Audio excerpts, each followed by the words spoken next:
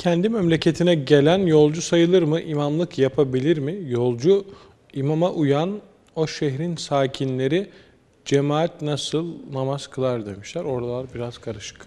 Evet, e, şimdi bir insan e, kendi memleketinde şayet onun e, kalacağı evi varsa, yani vatanı aslisini bozmamış, efendim anahtarını çevirdiği zaman içine girebileceği bir evi varsa, bu insan kendi memleketine geldiği zaman e, seferi olmaz. Hemen e, asli vatanına döndüğü için namazlarını normal bir şekilde mukim olarak kılar. Aynı şekilde memleketine gelip 15 gün ve daha fazla bir süre kalmaya niyet ederse yine bu kimse namazları normal olarak kılar.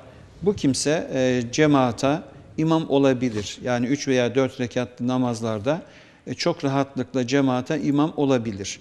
Eğer böyle bir durum söz konusu değil de kendisi seferi konumdaysa o zaman da yine cemaate imamlık yapabilir. E, bu sefer şöyle der, ben mesela öğle namazını kıldırırken ben iki rekat kılacağım, siz benden sonra kalkın e, iki rekat daha kılın, namazı tamamlayın diyebilir. Veya akşam namazını kıla, e, zaten akşam namazında bir sorun yok.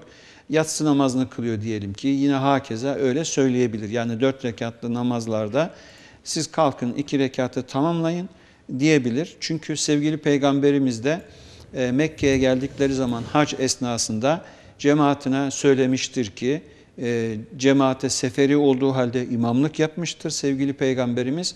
İnna kavmun süfrün yani biz seferi bir toplumuz. Siz e, kalkın namazınızı ben selam verdikten sonra tamamlayın diye fe etimmu salateküm diye namazınızı tamamlayın diye onlara böyle bir uyarıda bulunmuştur. Evet, peki.